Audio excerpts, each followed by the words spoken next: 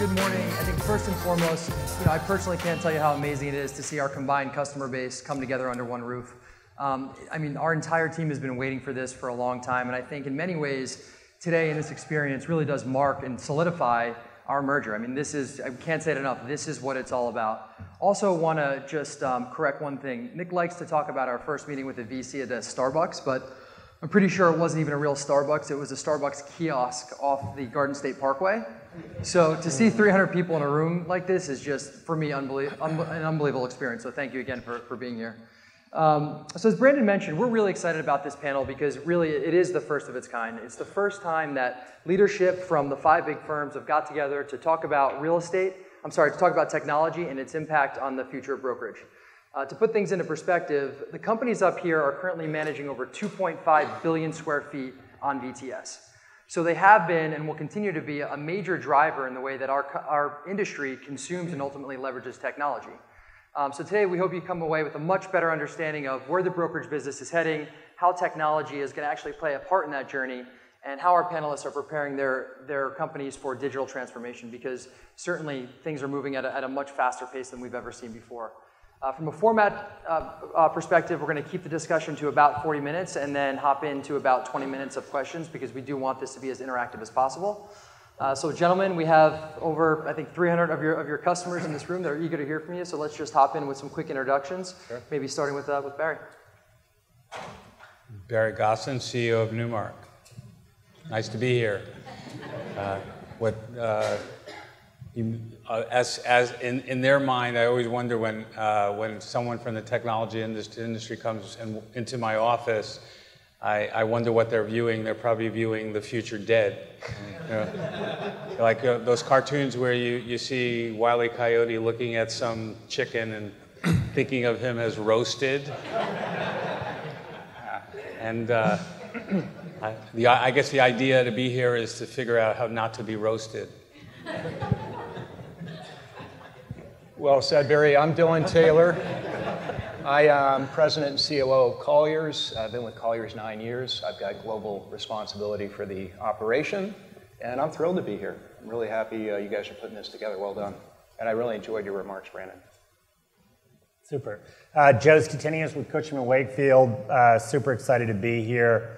We are very, very focused on technology, um, kind of as a foundation of what we're trying to do and the interface, and so uh, it's going to be uh, fun to be a part of this discussion. I'm Mike Lafitte with CBRE. I serve as Global Group President, so I'm responsible for all of our lines of business around the world, um, kind of our products and our client care program. Uh, we're spending, as everyone up here, a lot of time uh, around technology, and partnering with great firms like VTS and doing some of the things uh, pretty exciting ourselves. So glad to be here. I'm Greg O'Brien. I'm the CEO of the Americas for JLL, and I'm on our global executive board. Um, I would have thought my electrical engineering degree would help me with this big technology uh, wave. It's not helping at all. um, I was not a software engineer. My son just graduated Tuesday, computer science degree in engineering. spending a lot of time talking to him about what we need to do. And uh, by the way, for all you technology folks, he's, uh, he's looking for a job. Brokers. Oh man. Yeah, right. I was one, so I can say that. Uh, uh, all right, guys. Well, listen. Obviously, a lot's changing in the industry, and I think the the thing that everyone here would love to hear a little bit more about are really the brokerage firms. How are you guys thinking about technology? I think most specifically uh, over the next couple of years, and in the way it'll impact the way that you provide your service to your customers. And um, if there are some specific examples of initiatives that you guys are excited about at your at your firms, we'd love to hear about those as well. Want to kick us off? Well, uh, five years ago, we sold our business to a sister company of Cantor Fitzgerald. For those of you who don't, don't know much about Cantor Fitzgerald, they were the they created the first electronic trading platform, which used to be manual trading and now is uh, pretty much automatic. Uh, they built a company called eSpeed, which they sold to Nasdaq for a billion three. Um, and uh, we own 10% of the NASDAQ as a result of that. So uh, understanding the transition and the transformation from one business to another is, uh, is part of the DNA. They also built the first zipper for Wall Street trading called Telerate many years ago and sold it to Dow Jones for $2 billion. So um, there's probably over 900 patents. We have 20 IP attorneys. We have uh, internally, we're building our own CRM. So we've watched the rollouts of CRMs fail. And what you do is uh, you buy a CRM, it's one size fits all, and you have to customize it for uh, the, the audience that you have internally. And so you might as well do it yourself, and you don't have necessarily the user fees. So uh, I was struck by the photo. We have the photo of Steve Jobs in our office. We have a digital uh, photo of Steve Jobs in our office. And, I, and when, for those of you, anybody know the, the motto of, of uh, of Apple years back. It was think different. And, the, and you wonder why, you know, the natural English is think differently. But the fact that he said think different was he wanted to be different.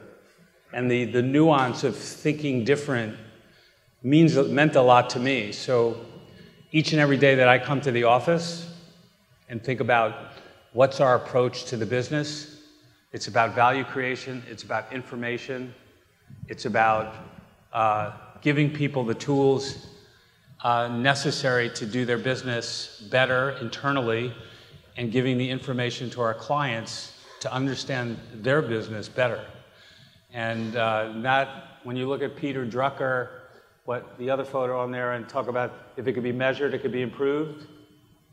Well, when we got into the consulting business, what we realized that most of our clients don't really have information and this goes back 10 years ago, and that the ability to give them a dashboard or to give them uh, a way to look at their information and parse through it and use it in bite sized pieces that will help them navigate their daily spend was an opportunity for those in our business to be different and, and do different.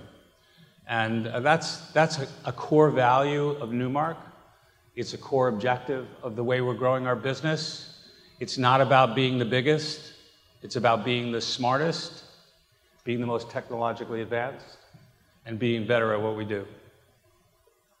Great. Thank you, Dylan. Yeah, so uh, the way we think about it, I mean, people talk about technology in our industry all the time, and I think they, in my opinion, um, conflate some different topics. So we think about uh, productivity enhancement, how do we do better the business of real estate brokerage, property management, appraisal, whatever the case may be? How can we enhance the ability to do that more productively? How can we enhance our ability to do that more consistently? So that's one category. Second category, which uh, Brandon nailed and you guys have been talking about this morning, is how do you interact with clients? And to me, that's the, the best frontier uh, that I've seen in technology at least in my time in the industry, and that is how can you provide better information in context? That's a really key uh, element, uh, in my opinion, real time uh, to clients to drive value. One example, we uh, did a Skunkworks technology development uh, program about two and a half years ago. Uh, put three individuals with computer science degrees in a lab down in Atlanta, and what they came up with was what we now call Colliers 360 which was essentially a dashboarding tool for corporate clients that was totally platform agnostic. It didn't matter if they were on PeopleSoft, it didn't matter what their underlying data was uh, housed in. It would extract that data and in context uh, dashboard that information in real time. And that created a lot of value. It brought us closer to our clients, put us in a more strategic conversation. Uh, the third category of uh, technology, non productivity enhancement, non client related, to me is this whole notion of are the brokerage firms going to be technology companies? And that one I resist a little bit. I think if you look far enough out, I think that's probably the case that all you know commerce in the world will be digital in some form and fashion. I, I accept that, but I don't necessarily think that data uh, is going to be the value creation mechanism. I think data to me is going to be like storage was 10 years ago, 20 years ago. I think it's going to be a commodity. Um, I was really struck by what you said about context again, Brandon. And the way we think about it is you've got data, you've got information, which is structured data, you've got knowledge, which is information in context. And then if you went all the way up the value chain, you'd have wisdom, which would be knowledge that is totally context independent.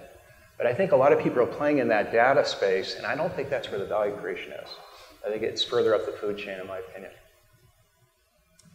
So, um, uh, you know, I'll address technology as it relates to the investor side of, of the industry versus the occupier side.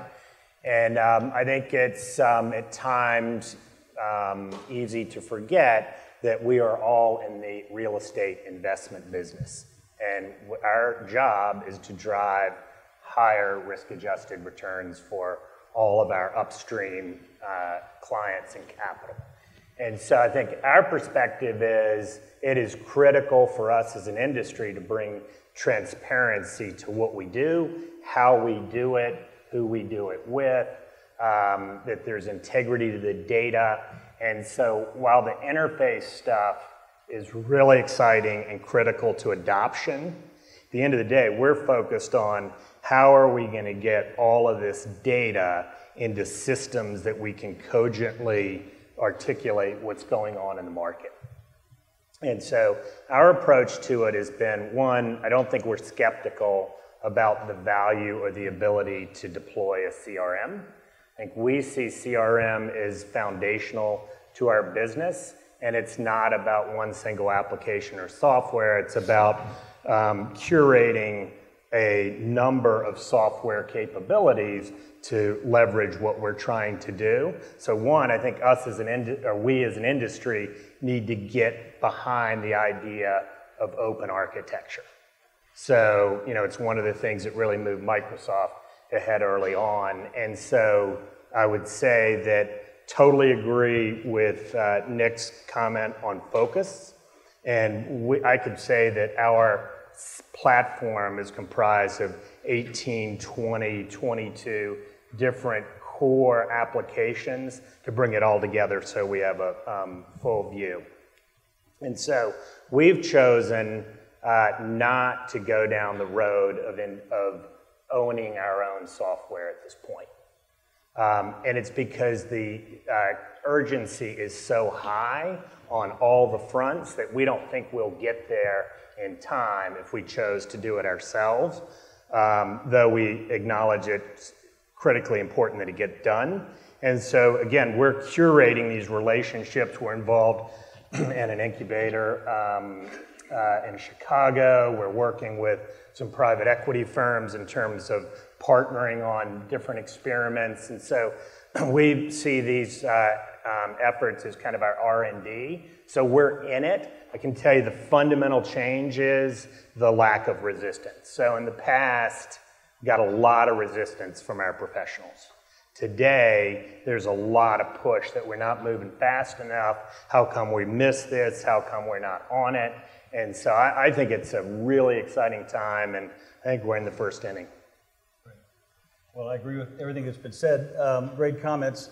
I guess the opening comment I would say, just as it relates to a vision for CBRE um, how we think about technology, we, we, I'd say first, we're, we're very much trying to build a world class company in, in products that then enable our professionals to get great outcomes for our clients, kind of in that order. So this whole idea of investing in about in 2012, we uh, we really told the market we didn't think we were investing enough. Uh, if you go talk to a consultant, McKinsey or someone, they'll say, you know, world-class companies, financial services will spend anywhere from three to five percent of their revenue, gross revenue, uh, on IT. We weren't there, uh, and we kind of told our board and we told the public markets we're gonna we're gonna start to invest. Uh, when I when I think about the ecosystem that we operate in, um, in, in terms of how we're attacking the technology uh, spend, we've made a significant increase uh, just in both in terms of OPEX and CAPEX investment into technology. And I'd, I'd kind of describe four different areas or ways that we do it. Uh, one is to buy, one is to build, one is to rent, and one is to partner. So under the buy category, this is kind of new space for all of us up here as we think about you know real estate valuations for services companies and you try to go look at acquiring firms that have a technology bent to them, they can be quite expensive. The multiples can make your head spin a little bit. So we try to rationalize how do we, you know, take the traditional models as a real estate services provider and start to try to find great companies to buy that might be cultural fit, that aren't so far down the road that you can't buy them, uh, and their valuations are just so uh, off the charts. So we've done a few of those things. Uh, Floored was a very uh, recent deal we just uh, did about six months ago. We, we uh, bought a company called Forum Analytics. We just bought Mainstream, kind of a work order management system So there will be those things that we see that we can bring into our company that we're going to buy. Uh, there are going to be some things that we're going to build. We're doing a lot of things that are proprietary that we're building ourselves. They're unique to us. Uh, we're global. We're big. We've got that scale. And so, how do you know what things do we need to do to drive all of our operations, uh, not just leasing, but all the client accounting facilities around the world and all the things that we do. So that's kind of the build and doing our own thing. And I'll talk maybe later about our, our kind of our new leader in, in that regard because we've made some big hires uh, in terms of our structure. Uh, the rent is uh, partnering with great firms like uh, VTS, CoStar, Microsoft products. And some things we just don't need to go build. Uh, they're already world class in what they do, and we're going to be great partners, and we'll be a big partner with them. Um, and then the last piece would be uh, kind of this partnership idea. we've announced an investment with, with Fifth Wall Ventures uh, where we're actually co-investing in the space. That pie chart or, the chart, the bar chart that showed all the uh, venture capital coming into the space. This gives us kind of a front row seat uh, as a company to see a lot of these early companies coming along. So not only as an investor potentially, but as a as a um, as a customer. Uh, so we're getting kind of some good insights there. Uh, building a project management platform with a company called Kahua. So that's kind of a partner model. So that's how I, I would describe our strategy is along those four areas, but we've uh, made a significant commitment uh, in spend uh, in technology. Mike, can you talk to us a little bit more about Floored and, and what the plan is? I think that the VTS team thought that was a really interesting play by CBRE and probably one that's most relevant for the people in this room. I mean, how do you guys actually plan on, on deploying that uh, across the platform? Yeah, well, there were there were several things that were really interesting uh, about that deal to us. We we uh, looked at it for a long time. Uh, Dave Eisenberg, I don't know if, if he's here, but um, there there was a, there was the there was tremendous interest in the product itself. You know, they had a couple of, of, of tools, um, plan what we what we now call plan and what we call build, a visualization tool, uh, as well as kind of a, a test fit tool uh, we thought that that was quite unique, especially for the landlord owner. Uh, so we saw that, we said we want to own that. Uh, that's something that we think would be a differentiator for us. So there was tremendous interest in the products, but then also the DNA and the, and the talent. Um, it's, it's rare for us, I mean, we all know the real estate world, but for us to be able to go get a, a small team, relatively small team, of really, really strong talent of, of uh, software engineers and visionaries that we thought could take our traditional areas of business and, and help us try to continue to be a leader in this industry. So that was a big, those two dimensions, I would say, both the products themselves, not only the current ones, but the ones that they could do to help influence our other products, we thought would be kind of a shot in the arm for our, our, our, our own culture um, on the talent side. Thank you, Greg. So I think there, if you break our industry into investors, which would really be mostly this room, and occupiers, um, I think this is one case where particularly the large occupiers have kind of driven us ahead faster. So if you really want to see um, maybe second or third inning, you can look at the biggest global outsourcing clients who are now coming to, to us and, and others on this stage and saying, I want you to be our, our technology provider. So what have they asked us to do and what have they asked us not to do?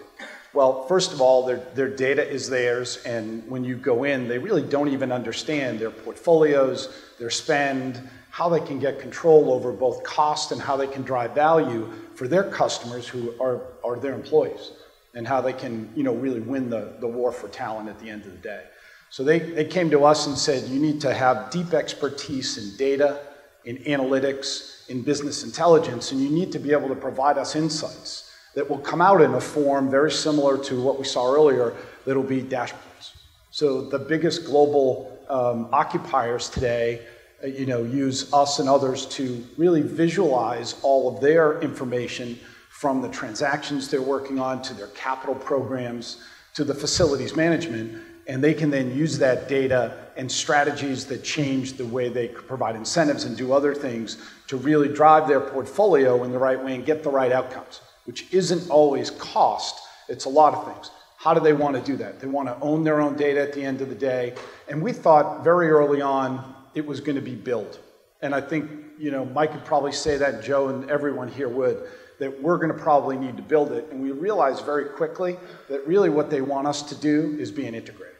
So we use, uh, we refer to it as point solutions that really attack in that focus that Brandon was talking about before you know, people focusing on areas of the life cycle for an occupier. And there, there's a life cycle for investors too. And I think the investor world will follow this path. Our job is to integrate around in, in ways that are consistent, that allows you to, to bring your data in in different ways and give you dashboards. Our RED data and analytics platform sits on top of lots of different programs. We can provide the point solutions and integrate it, or we can sit on top of an IWMS system and provide you uh, with individual point systems and really make it fit for the massive investments that our occupier clients and candidly probably a lot of you uh, have done. So today our world is, is really buy, build, and partner. And, and partner and rent, probably the same thing a little bit, a little bit, Mike, and the way Mike described it. You know, we're buying companies, you know, because they have great products, and I'll talk about a couple in a second. But we're also buying them because they totally changed the discussion in our rooms, or in our digital boards, which we have for each of our businesses. They changed the discussion with people who started, their DNA is really around digital and technology and analytics. That's very different than the traditional analog businesses we have. So we're, we're doing a, a great job uh, with buy, then, then building. We still build that integration piece. And then we're partnering. VTS is a great example of that. There are going to be centerpiece point solutions who might end up hitting a few points on the overall life cycle. But then our clients are coming to us saying, fill the holes and bring it together for me and allow it to speak to me at a different level. So I think there's a lot of room for, for partnering as we go forward. On the buy side, we bought a facilities management SaaS company called Corrigo. And they're really helping us totally change the cost structures and the data gathering in our facilities management, and it'll be in our property management business as well. Uh, we bought a, a technology consulting company called BRG. And all they do is help people who have large stacks that would be very hard to walk away from because of the charges they'd have and make them all work along with data visualization at the top. So the answer isn't we're going to find one solution. The answer is everybody's in a different spot. The occupiers are all in a different spot, and investors are all in a different spot. And our job is to bring it together and integrate it, and it's going to be something that's going to, uh, going to hit us all over time. So it is a massive investment, a lot like Mike's comments. You know, the percentage of our revenue that we're spending on technology and R&D around our businesses. We've reorged our entire IT department which used to be plumbing. The plumbing department is separate, and they do a great job at keeping our people productive and doing other things. Each of our businesses has a dedicated CIO focused only on how we can bring customer outcomes. And that's a massive shift for us over the last really couple of years, and the pace of that change is unbelievable. Thank you. Well, I think the other one of the, the key things we wanted to focus on, and, and, probably two of the most common terms that get thrown around when people talk about real estate technology, is disruption and enablement. So if you think about how much the, the space has evolved over the last couple of years, there are now hundreds of, co- of companies trying to solve dozens of different problems within the space. But the real question for you guys is, is where do you think that we'll see real disruption versus enablement? And I think most importantly and most interesting, uh, interestingly for the people in this room is how do you think the role of the broker will change over the next five years? I just I would like to comment on Greg, which is part of that. So we've been doing we've been doing that for for seven eight years on the uh, the dashboard and the information and the analytics and and uh, uh, we bought a company called Computer Facilities Integration several years ago and uh, it's very, very similar to BRG, as well as other, other technology companies that we've put together. And we do partner, and we do rent. But uh, if, if, you, if you're going to build something, you should own the information. You should, um, you should, you should control the, the long-term destiny and invest the capital. If you're willing to invest the money, you'll have a, a long-term differentiating value. And that's where we, we see the industry going. Uh, for us, it's been about differentiation. We, we weren't the biggest, so we always felt that we had to be, we had to be different. So we've been coming in through the technology door over the years, and now we're building out the dots on the map and the distribution capability and the talent on the ground, which will never be eliminated. Uh, it may be disintermediated to a degree, and it may be deleveraged, but the, uh, the requirement to empower the brokers uh, to uh, have access to information on mobile, accessible, flexible, complete, which will include some built internally, some subscription-based bolt-ons, and access to public data as well. So it'll be a combination of all the above. And, and at the end of the day, the broker will be that instrument to create, uh, to be the intermediary. But unlike in the past, it may be, you know, you, you're going to have very senior brokers. They're going to be very smart. They'll be well trained. They'll understand technology. They'll be able to access that information. They'll be able to interpret the information, and uh, they'll be way more empowered. Uh, that's that's our our objective. Uh, it's more towards the integrator model, as Greg talked about, as opposed to just you know just more is more, and one and one equals one and a half. Uh, our, our view is, you know, in, terms of the brokerage side of our business, we're about revenue per capita. We're about the quality of the individuals. We're about differentiation and capability. On the, on the, on the investor side of it, um, everything's about yield. Everything's about what sliver or increasing the yield, and technology is going to be available at some point to increase that yield. And if the brokers don't create the value, they'll be eliminated. So the, if, if the information are readily available for the investor to increase their return on investment, and they don't need brokers, they'll be eliminated. So uh, I think the brokerage industry has to be on their toes and has to be ready for the challenge uh, to, to, uh, to create the value so that these guys don't eliminate the business. And if we don't, then we will be. So, uh, so it's, a, it's a host of things. So in your, in your, view, it sounds like you believe there will will always be brokers, but maybe less brokers. And is there a, is there a scenario? And I'd love to hear the answer from all you guys. I mean, is there a, over the next five years? Is, are there scenarios where you just don't need a broker for small deals, maybe less than ten thousand square feet? Personally, I think you know, look, every, every I, I I get a kick out of when you guys come in and visit with us and you're telling us how you want to partner with us and we need your support and we love you guys and we need you guys and i'm thinking okay this guy's thinking about how does he eliminate us uh, okay, really? Um, so uh, I don't believe, uh, look, on the residential side, what a broker does is, is limited. So Zillow, for example, what I found in the last few years, that if you're looking for an apartment, it's much harder to be on the buy side because it's friction. It has so much friction. You got to show people. The guy who's sitting with the listing, it's much easier. So Zillow sends people to the listing. Will, will people go just to the location and buy directly? It's unlikely that someone's going to want some stranger wandering through their apartment. So I, see, I think what it may do is may reduce the amount of the buy side on the residential. Uh, I, I, I, don't think it works on the 5,000 footer, actually. I mean, you may think it does, but they have let a larger tenant can afford more professional help to leverage themselves into solutions. So I don't think the risk is in the 5,000. I think it's the opposite. The risk is more likely on the larger who decide they want, want well, I'm just going to hire this great broker and he's going to work internally and he's going to go directly do, do deals. Now, I don't believe, I believe that uh, I wouldn't come to work every day if I didn't think we provide enough nuanced informational value and, you know, sheer uh, you know, one of my partners, David Falk, sent a book around Hug Your Customer.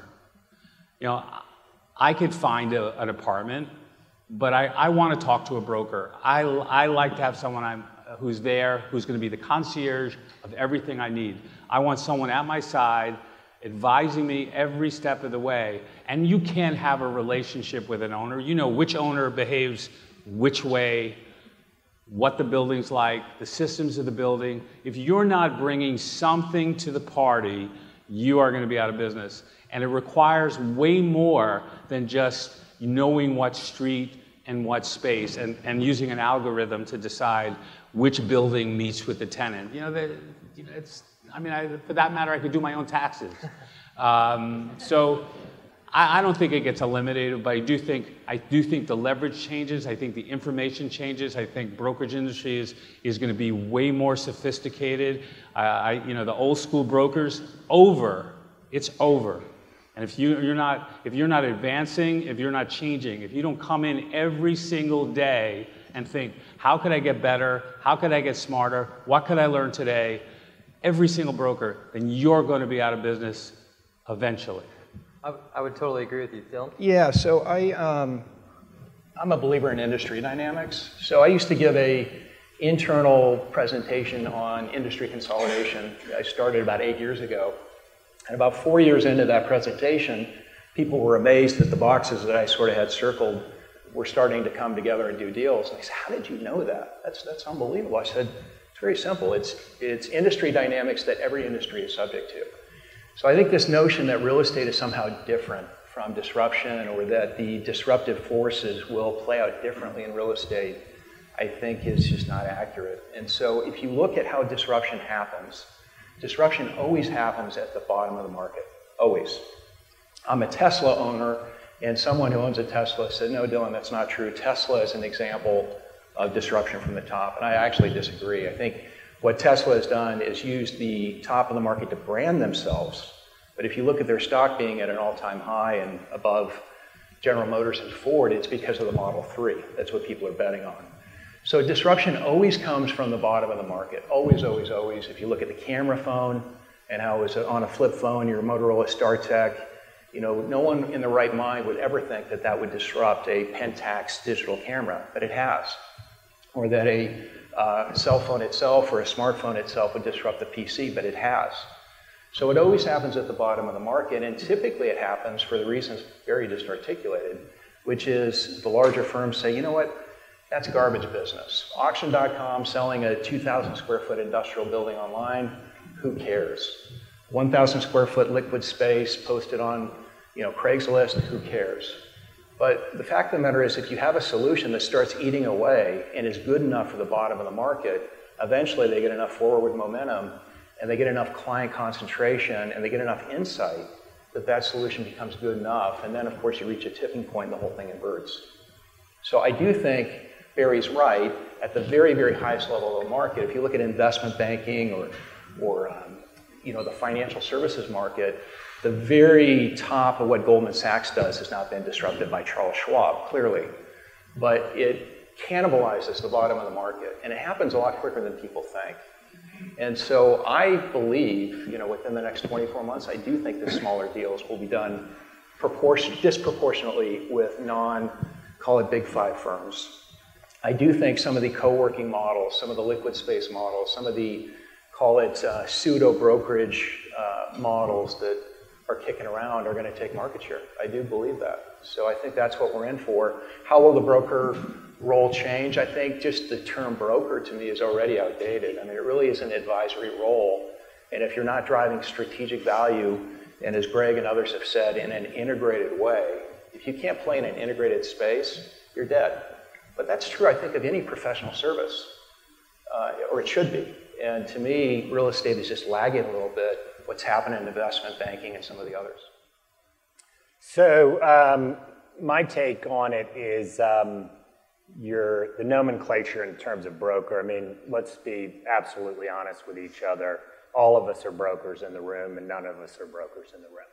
Um, we're all intermediaries between the capital and the opportunity, and how we're incented or compensated or paid may differ depending on the models. Um, I don't think that relationship between the capital and the opportunity is going to change very much. Now, how it gets exploited or executed, those uh, models could probably change pretty dramatically. And an example I would use in the security side of the business is the shift from actively managed money market funds to passively managed ETFs. So the ability for um, smaller, less in, uh, sophisticated investors to get to products um, and opportunities that they, they have a desire to get to, that probably goes up around technology. Um, I think the most sophisticated investors are going to see all of us is the ability to access important relationships and to give them some kind of differentiator in a world where all of the data is going to be pretty much ubiquitous. Um, in terms of enablers, um, even though we're in the first inning of technology, um, the mindset, the culture, and the technology are way ahead of the process in the business. And so when we're talking about a 50 page unique lease for 2,500 footer for 18 months, that is insane. When you can trade billions of dollars of bonds under that very building or portfolio like that. So, if you want to talk about disruption or enablement, the ability to do this stuff more efficiently in terms of the process is bigger opportunity than the technology itself. And that's, you know, kudos to VTS and Hightower for acknowledging that that's where the opportunity is, is to automate that component of the process that's so efficient, but the deliverables around it are like, I mean, we're walking around with dinosaur bones. Uh, I would say, as it relates to the question around the role of the broker, clearly going to the advisory and consulting side, expertise, deep uh, industry knowledge around a product. So the specialization that we've all seen. If you're doing a law firm deal, you've got to have law firm expertise. If you're doing a data center deal, you've you, have you have got to speak data center. Um, all the things that are uh, kind of moving. Uh, about a year ago, we actually changed the name of our leasing business. And I'd say the same is true in the capital markets space. You know, you're, you're you're compartmentalized by um, a product type, um, in a geography, very specialized, really deep expertise. That's where it's going. About a year ago, we rebranded uh, our brokerage business to advisory and transaction services business. We did that for a very good reason because we said, you know, it's no longer just about doing the deal and the transaction. Yes, you've got to be competent, you've got to know the market, you've got to know the lease, but bringing in the expertise and the advice is what our clients want on both sides, the occupier and, and the landlord. On the disruption question, um, you know, I think the things that, that tend to be disrupted uh, first and foremost, or the, the, two obvious ones for me would, would be the things that are uh, the Internet of Things connected, where the connectedness, smart buildings, we're already seeing uh, tremendous innovation there.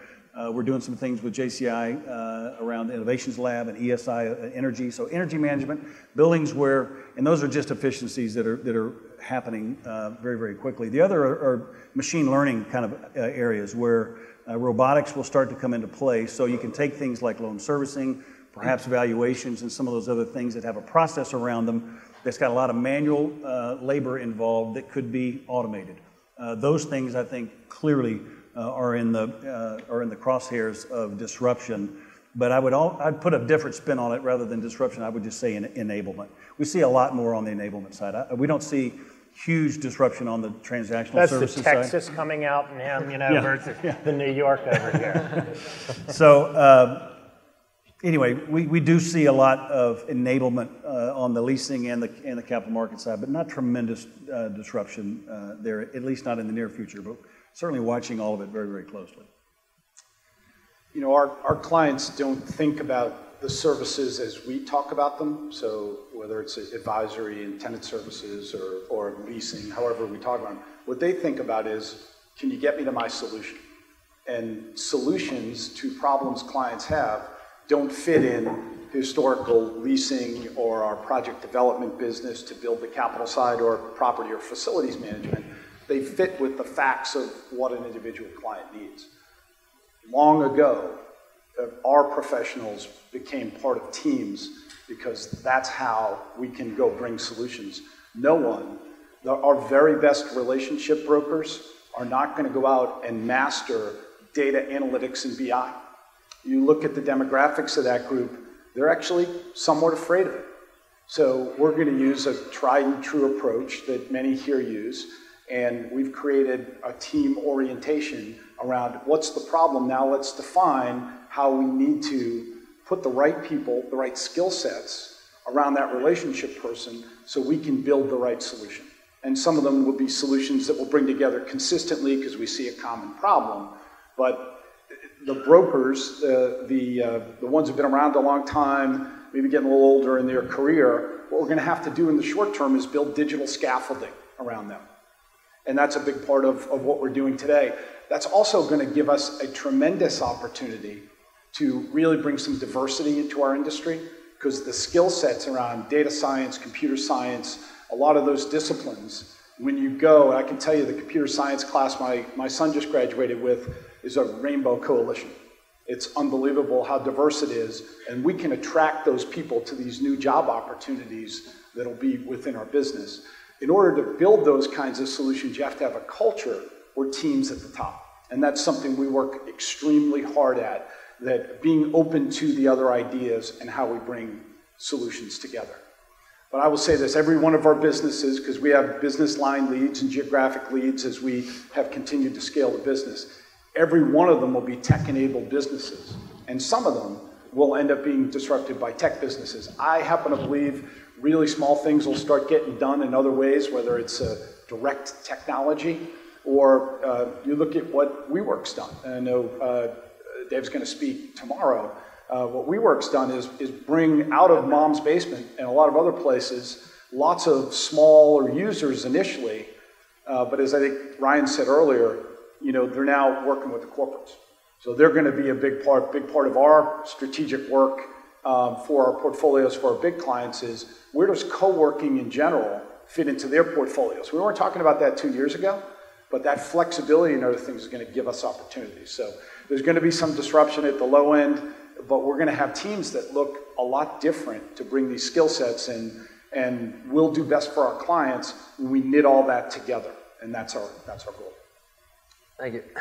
So uh, next question is might be a, a, little controversial, but it actually came up in our uh, our customer advisory board meeting yesterday, and, and this concept of thinking about compensation and tying it to a more of a performance-based model. I think Mark Zikakis had a pretty awesome example of thinking about how his asset managers um, are, are comped on performance. I mean, that's just the way the asset management business works. And then having a subset of that, which is comp based on technology. So how well are you actually leveraging technology? So do you guys see an evolution of the brokerage business where it does become more of a performance-based compensation model, and could technology be the utilization of technology be, tied to that? Because I think a big part of, what's happening in the industry now, and the question that people are asking is, you know, how do we get it to change? Um, and you talked about building digital scaffolding, and, there's lots of creative ways that people have been approaching it. But any thoughts on just taking it taking it more head on? It, should be. It isn't. I mean, the procurement has destroyed uh, the efficacy of much of what's done. You know, it's everything's a nail, everything's a hammer. Uh, every broker is a broker. Uh, the commodity aspect of what we do is unfortunately, I think, over exaggerated uh, because not every leasing agent is as good is the same as another leasing agent. And too much of that is done. Uh, performance is, is as good as any way to, to, to get paid. Um, now it's well, you're, you're the same as everybody else. We just like you to, we'll pay you less. And uh, so that's, that's, that's not a good, that's not in the interest of the client, in my view. Uh, so I, you know, I, I think there should be a, should be a component of uh, how people are paid based on performance and success. And having better information might be a better way to judge that. Uh, so there is some, some of that, some of that in, in, in facilities and other parts of the business where you, you do have some element of fee at risk based on a certain amount of performance. But, but I'm not, you know, I see it as a, as a good thing. Greg, did you want to pop in there? You know, especially as you're knitting together solutions. Uh, you know, more and more of our clients are, and have for a long time in the occupier side, particularly the big ones, it's outcome-based pricing.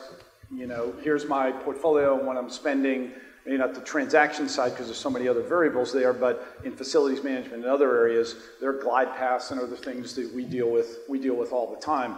The more we can bring together things that really create different value and we can attack that better, the more clients are willing to pay us. So, you know, when we spend time with clients, whether they're occupiers or investors, we talk about what their real goals are, and the more we can align ourselves with those goals, the better.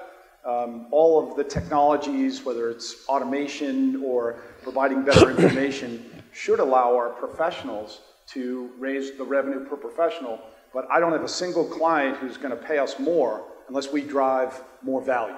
So that's got to be the focus, and you're going to do that in a in a number of different ways. Aren't we already largely in an outcome-based you know world in a lot of our businesses? Cool. Mike, you want to come back? I, I, would say I think the occupier world is, is certainly ahead of, uh, in the world of kind of KPIs and alignment. That's how they, those contracts are structured. They're big, they're global, they're multi-year, and you can, you know, and the providers will get some certainty for activity and put some skin in the game. When it's transactional and it's kind of one-off, you know, we end up e- either in this property management fee assignment uh, relationship or commission relationship. By the way, the, the commission, as you know, is not it's not a global thing necessarily. So if you went to the UK, the market there is very much of a team, kind of a base bonus profit sharing model. Every compensation system that I've seen has some flaw in it. Profit sharing you know, limits people's willingness to invest back in the business. So they don't want to give up current year's profits because it's going to uh, you know, for future gain. So they, they, all of these things are, are, a little tricky and complicated. At the end of the day, though, I think it is our collective duty uh, as an industry to take KPIs and metrics to you, the investor client, and really elevate the game. Uh, we're doing a lot of work ourselves just on our own client care programs and trying to think, think about what are the things that we can measure and roll up. Even though you buy from us one off, you know, how can we roll that up and measure it and report back to you on how we're doing relative to leasing performance? Are we getting are we improving market share? Are you getting more than your market share? How are we doing relative to your NOI? How are we doing relative to your satisfaction of your tenants? So I think uh, I think we need to be doing a better job of that. Uh, but it's not always just the compensation systems; those are just kind of some some necessary evils. Somebody and, and there's some great things about a commission structure, um, but the more we can create alignment where what's, what defines success for the client is success for the provider is uh, it's a great place to be. So um, I, would kind of parse the question into two buckets. One is how are fees calculated?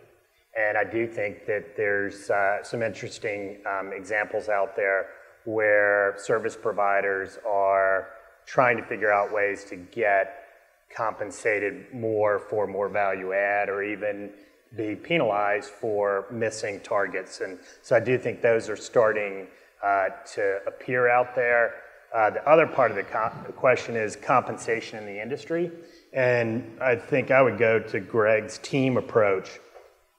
Um, if you look at even straight brokerage that's just getting a commission, very few of the most successful brokers aren't pooling fees with a team.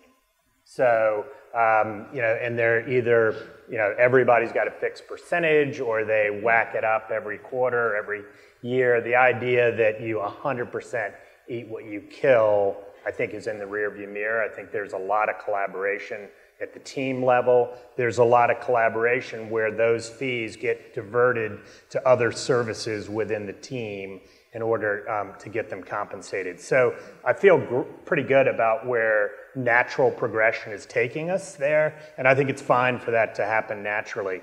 Where I think us as leaders need to force it is for the junior talent, because we have to demonstrate that we can uh, attract the best and brightest as a company, as an industry, and we won't do it by putting somebody on an independent contractor agreement and on a draw. So I think that for the first three to five years, you are going to very rapidly see more kind of salary bonus type um, compensation with certain behavioral or efforts targets, like I think we were alluding to. Um, I, I, don't think commission or a piece of the revenue goes away for the for the senior talent uh, anytime soon. Uh, just quickly, Mike made, a, I think, a really important point, which is, you know, we're talking about a U.S.-centric view, and, and, globally it's actually quite a bit different. On the capital market side, I see a lot of incentive-based compensation, not only in terms of how we're paid as a firm, but how the team is compensated. The other thing that I think is really interesting is this whole rise of non-U.S. or non-North American multinational companies. And uh, there's a lot of them, and they're now starting to export business around the world, and they think about it quite a bit differently than what Barry pointed out earlier, which is they're not as procurement driven as the US uh, multinational corporations are. In a lot of cases, they're first generation outsourcing. And so they're really looking for value. So I think this might be one area where the global uh, dynamics actually affect the US dynamics. Uh, and you know, normally it's the other way around, as we know. But I do welcome everything that's been said here. I think incentive-based compensation, both with the client covenant but also internally, I think is critical. And if you look at some of the boutiques like an Eastdil or HFF who do really well on the landlord side, a lot of their compensation is very communal. And I think, I think that drives behavior. Thank you very much, guys. That's, clearly, there's a, there's a lot to take away here, and it sounds like you guys are thinking about a lot on a daily basis. And I think we do have some time for, for questions, so we'd love to open it up to the, uh, the audience. Someone's got to have a good question.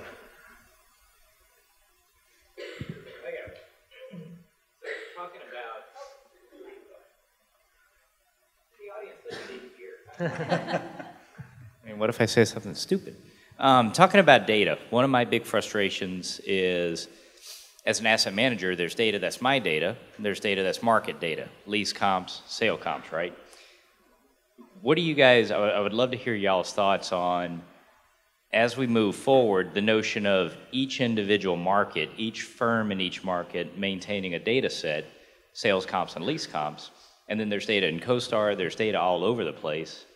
Which one is kind of the truth? And I've seen at least, you know, one firm represented up here where every market report across the US looks the exact same, and I appreciate that. And I see other other organizations where there's still a lot of protection within a market of, oh, that's my information. I, if I start to share that, I'm giving up some of my power.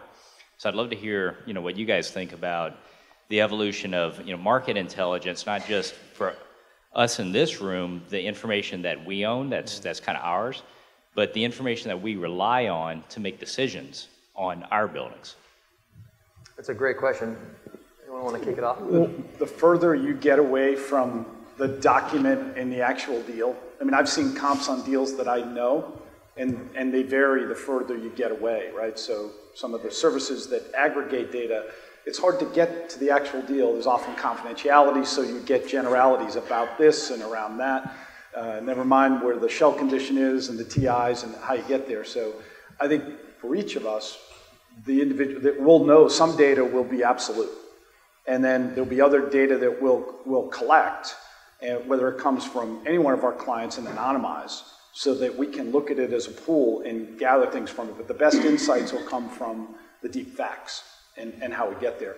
Getting the consistency market to market, how are we going to bring that information in solutions to you, maybe around some point solutions like VTS and other things we have.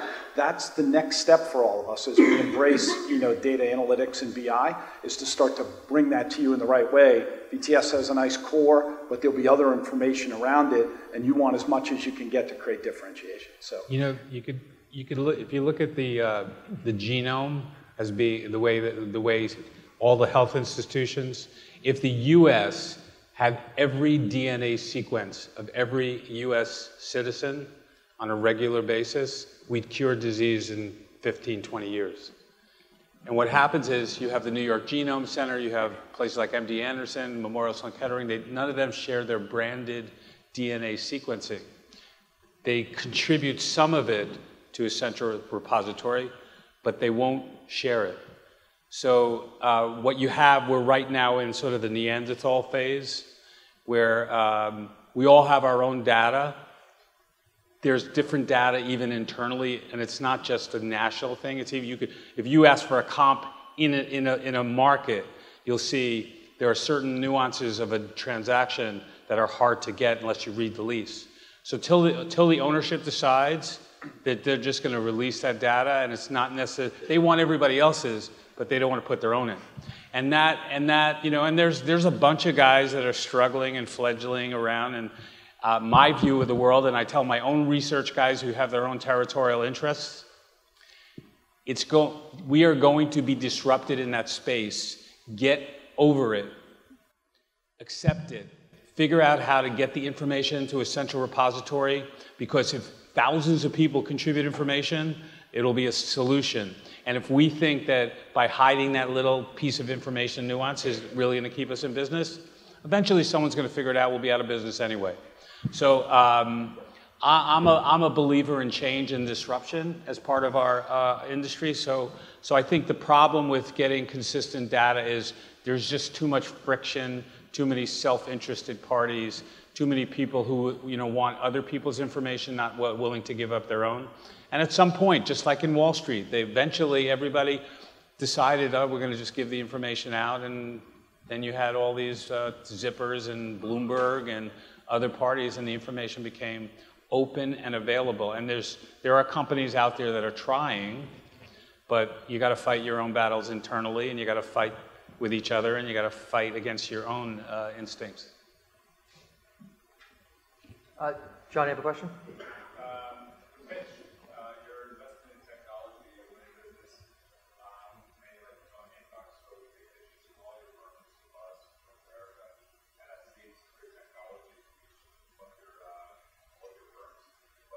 Yeah.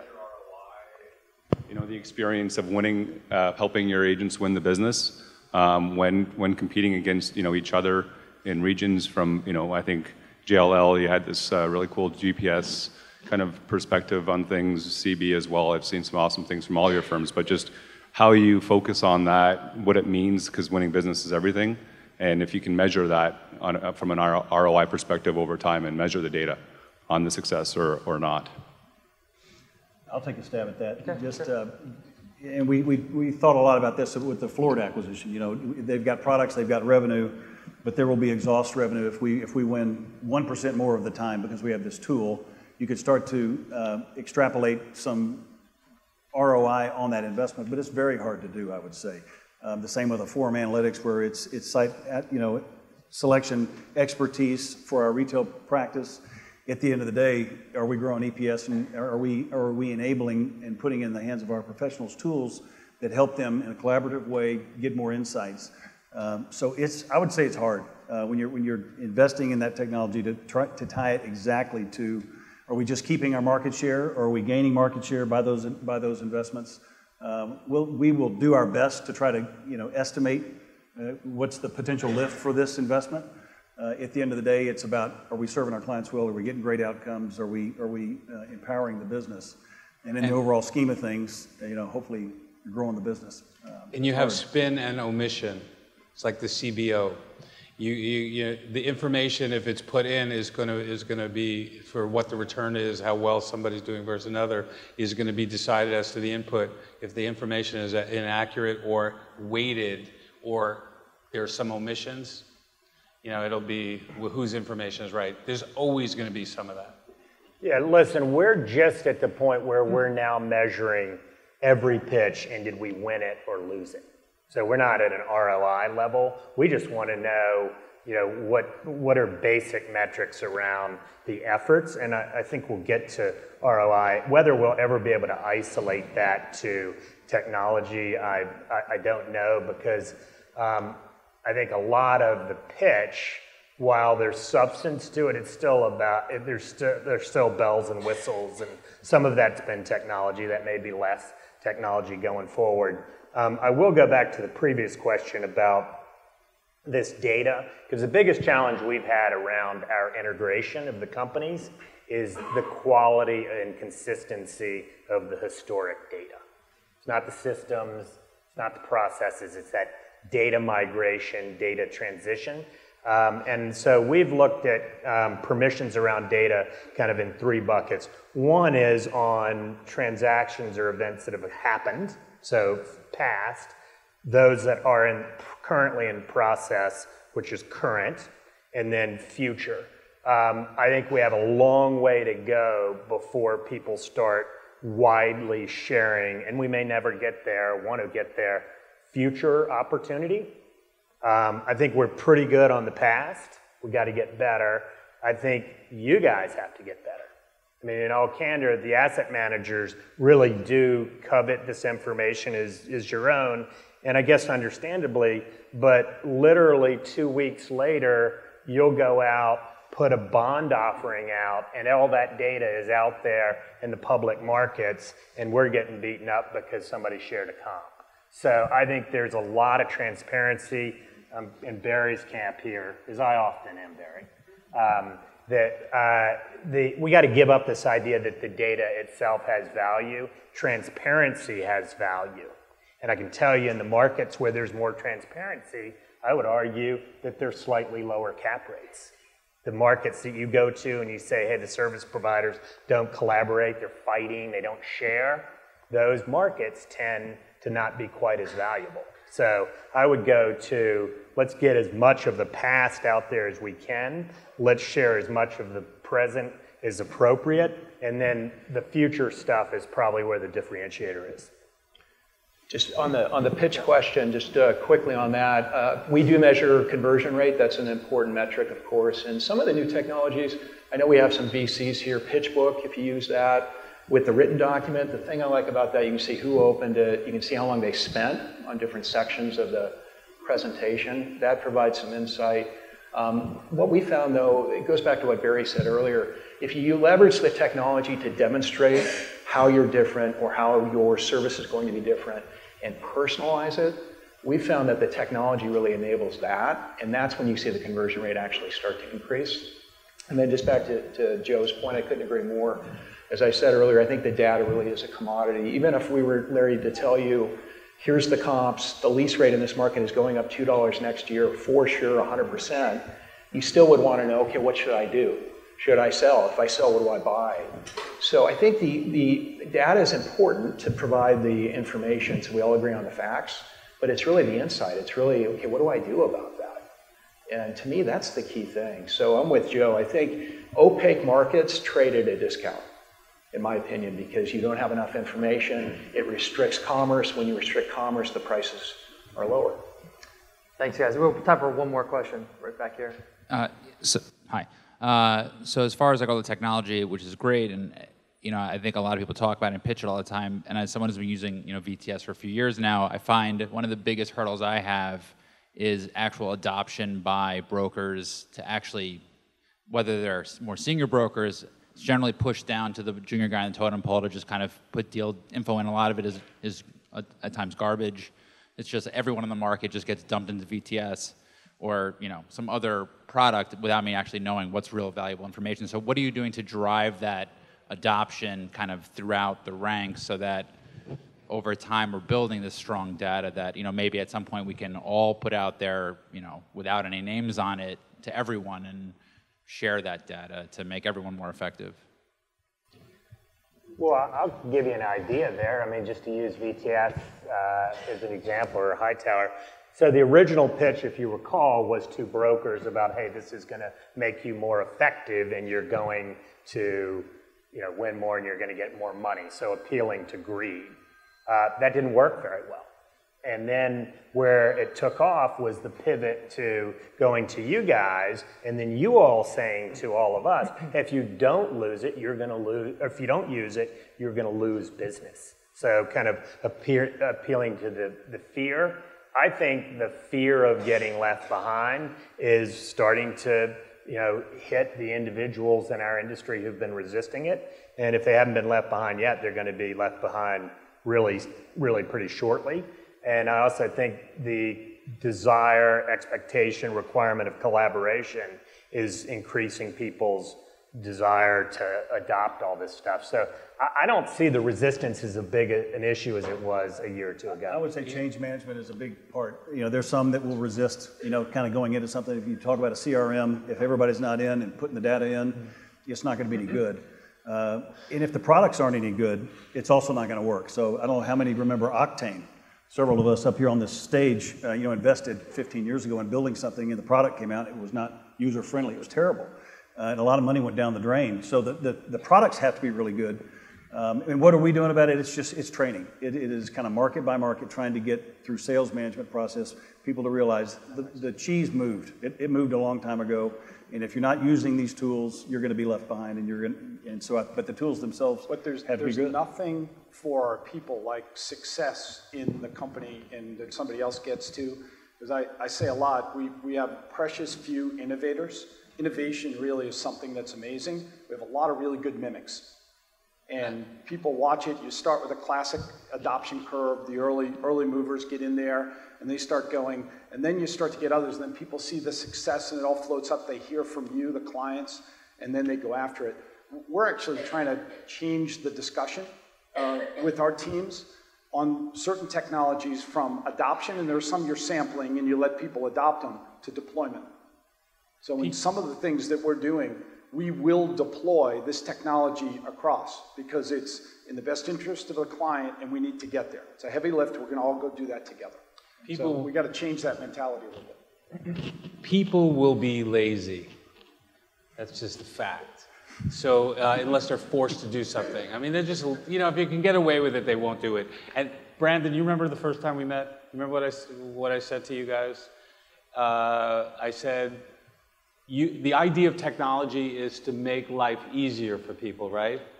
And I said, you guys haven't really figured that out yet. You just make our brokers work harder because they have to input this every minute, every, every second. So, so the way I looked at it in the beginning was that this is really a hall monitor or, or for the the, the owners so that on the night before the meeting, the weekly meeting, they don't just sit and put all this stuff together. I showed the space, this is who I showed the space. I think that keeps a certain amount of discipline going, and it's actually a good idea. But in respect of, of uh, technology, in our CRM, we have a hammer. And if you don't put in the information into the CRM, you get hit with the hammer. And if, if you, and the other hammer is you're out of business hammer. You know, you, you, you, you can't teach a, a old dog new tricks, so you're not getting the superstar rock stars who, who have white hair to figure out how to, you know, get into the computer. It's just not happening. So, so it's going to be, you just got to hope that the, the third guy on the team, that young guy, works his ass off. He's probably underpaid, he's probably pissed off, but he's, but he's working his ass off making sure that the information is in that technology, and he's trying like hell to teach the old dog how to open it up. so it's, you know, there's nothing. Everything in life is hand to hand combat. It's a constant grind. You guys know that. In New this York, is, definitely. It's everywhere. Come on, you know, this is we're, we're not. We're, I mean, I grew up in New York, but but uh, we, we, run a, a global company. It's it's hand-to-hand combat, and it's like other people in other markets. You know, my our San Francisco guys, they're real chill. Baloney. They're they're just passive aggressive. That's all. and, the, and and the guys in Texas, you know, oh, we're easy. You know, baloney. They just have an accent.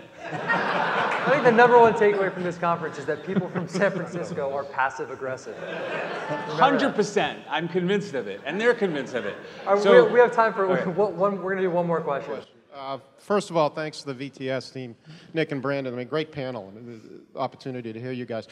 As far as when you make a uh, selection as to a new technology venture or going with VTS, who makes up the advisory team? Is it a bunch of, let's just, you know, as Barry puts it, white hairs, or do you have millennials and all of that saying you why sh we should uh, buy into this? How do you make that decision? Who's involved in advising you within your companies? I'm happy to go first. Um, so we have Dan Spiegel in the audience, who's our EVP of operations for the U.S. He had a really good idea, probably about six years ago, to form a essentially a technology council among some of our top producers, some of the younger, more innovator uh, type personalities in the firm. So you kind of not only get the good ideas on that advisory board, but you also get people who, if they adopt it, other people are going to be influenced by their adoption. So that's served us very well.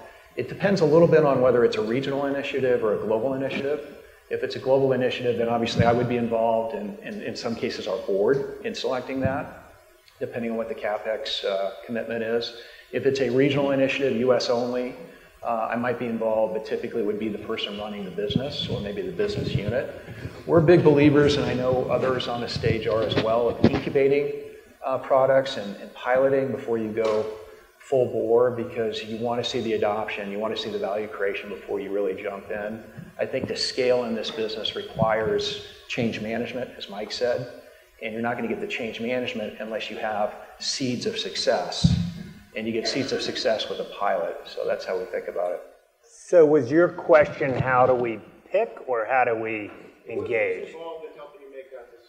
So what happens is, um, uh, well, so, um, and I would think the occupiers have led on this pretty, pretty clearly, is, um, so first, if somebody comes with a technology solution, it's got to get through compliance. So we have certifications and requirements like most of you do. Which is a very fun process for us. Yeah, right. So awesome. if you're a technology provider or you know a, a, startup or you have an idea around technology, if you can't get through that compliance, it will never hit the light of day. So once you've said, hey, I'm, I'm secure, I'm safe, I'm sustainable, I'm scalable, all that stuff, then um, it starts to get through to the business, and then the business has to own it, and then it goes through kind of priorities to, to understand the impact on all the different services and things we do.